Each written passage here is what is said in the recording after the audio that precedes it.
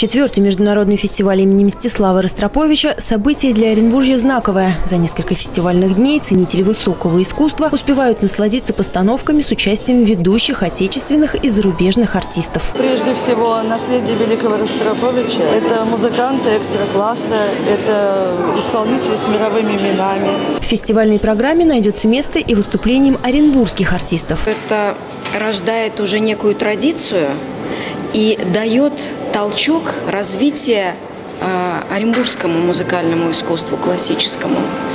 А, наверное, в этом главная цель любого фестиваля, особенно международного, чтобы, чтобы появлялись, чтобы были ростки здесь, на, в месте проведения. В этом году фестиваль посвящен 90-летию со дня рождения Галины Вишневской. Именно поэтому открывают фестиваль солисты и оркестр, созданного легендарной исполнительницей Центра оперного пения. К сожалению, попасть на это зрелищное событие смогли далеко не все желающие. Так как театр у нас не имеет своей оркестровой ямы, мы вынуждены снимать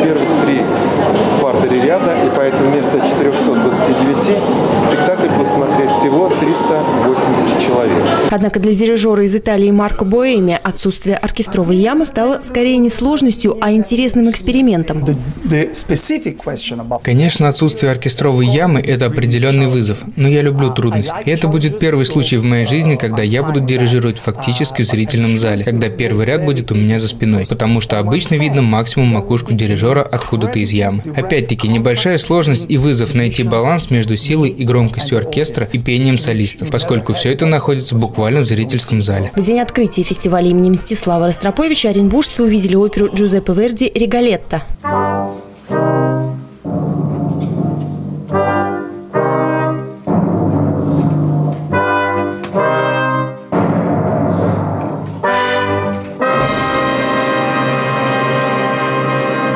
Насладиться классикой оренбуржцы смогут в течение трех дней. Торжественное закрытие четвертого международного фестиваля имени Мстислава Ростроповича состоится 2 декабря. Карина Тумасова, Олег Николаев, городской телеканал ЮТВ.